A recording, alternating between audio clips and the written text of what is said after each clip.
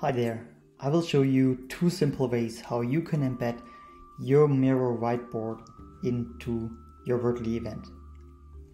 So the first way is by simply clicking on the button here at the top left, the export this board button.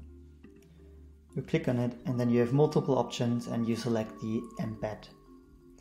When selecting the embed, there will be a pop-up where you have at the bottom uh, a full embed code that you can copy. You simply click on it and you can copy the whole, the whole code. As a next step, um, select a different tool where you can just paste this code that you have just copied. Basically, in order to embed it nicely in Veertly, um, you need to dissect this code. Basically, just take the URL.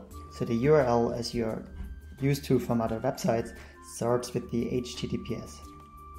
So basically I just copy or remove the HTTPS um, separated from the rest and all the way until those uh, parentheses at the, at the end. So basically you remove those, you will see automatically, this will become a link uh, automatically.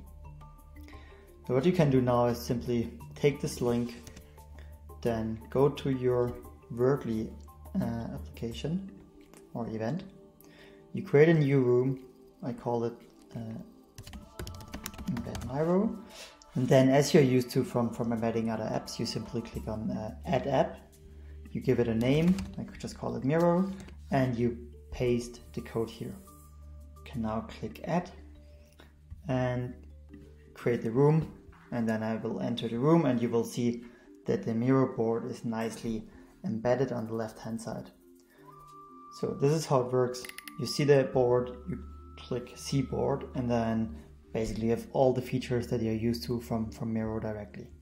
So you simply can use all the different tools that you have from here and um, create new post-its or any new texts.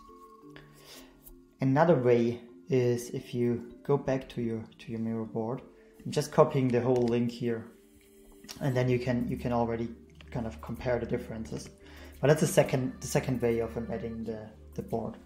Basically, you can see here now, this is a long, uh, quite difficult to remember uh, URL, but you see the difference between the top and the bottom, especially the first part is just this embed part, like live embed.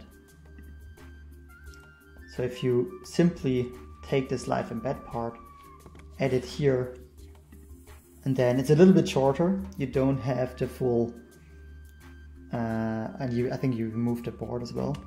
You move the board, you replace it by live embed, and then you will see it's the same. Here you have some additional uh, parameters, but you don't necessarily need them. So you can simply take those, going back to the Veertly application, and simply creating another room. Say embed Miro part 2 add the app say Miro 2 edit and add the app. As you know you can also remove the video conference part so I'm now just having this app. Let's go to this room embed Miro part 2 entering and you will see this also works in the same way. So two ways either export the board take the whole URL as we have here or you simply remember the live minus embed part and um, enter it like this. So there are the two simple ways to embed your Miro board into Veertly in just a few seconds. Enjoy!